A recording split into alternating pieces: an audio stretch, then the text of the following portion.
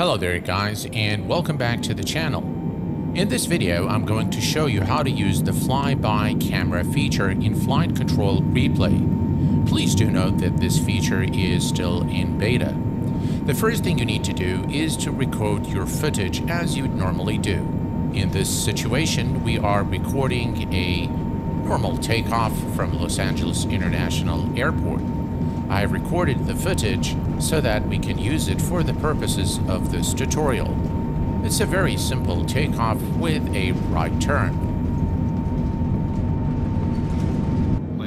Let us now bring flight control replay and stop the footage and reset it to the very beginning.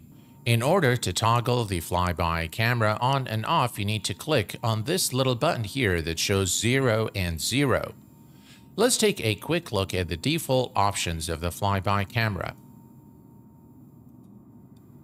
You can see the flyby camera distance is 0.1 nautical miles, camera position from user plane is 45 degrees, and the maximum distance before trigger camera change is 0.3 nautical miles. Now, this is uh, quite a short distance, and let's take a look at how the default values work in the sim. Click on play and let's watch what happens.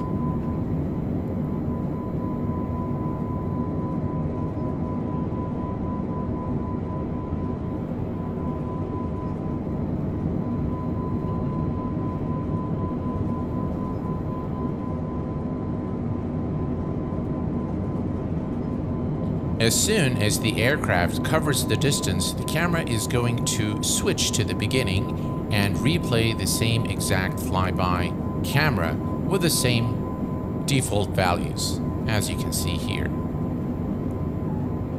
Now you'll agree with me that the flyby camera works, but it doesn't really create for that dramatic scene with the default values. So let's go ahead and change things around a little bit. We're going to bring the footage here to the very beginning I have now made several changes to the flyby camera options. The camera position from the user plane angle has been changed to minus 90 degrees. Please note that you can have any value from 0 to 180 or from 0 to minus 0 180. I have also increased the maximum distance before trigger camera change to 0.8 nautical miles. Let's take a look at the results after these changes. Notice that the camera angle has now changed.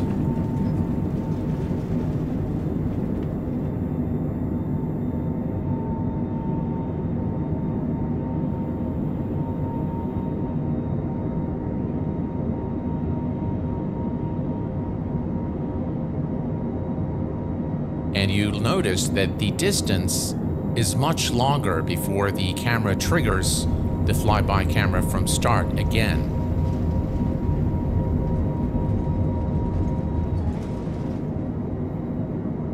Little better than the uh, default values.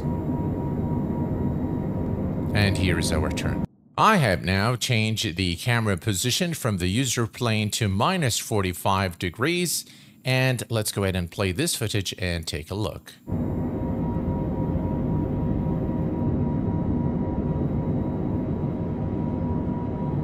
And this is, I think, the view that most of you guys like to see works pretty well. My recommendation is to increase the nautical miles uh, before the camera trigger changes.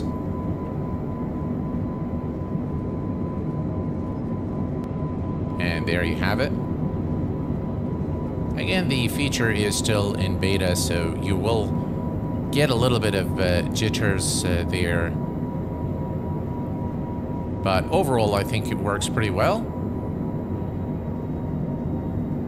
I believe that the flyby uh, feature in Flight Control Replay is a good feature. I think it, it works as advertised, but it definitely does need refinements to ensure the smoothness uh, of the aircraft movement. I do recommend, though, that you always increase the distance before the camera change triggers uh, in order to have a smoother um, experience while creating your flyby cameras. Well, folks, this is what I wanted to share with you in this short video. I hope that you have found it useful and insightful. If you have any questions, as usual, please do post them in the comments section below. Until next time, please take care of yourselves and each other. Now, we'll see you all very soon. Thanks for watching, and bye-bye for now.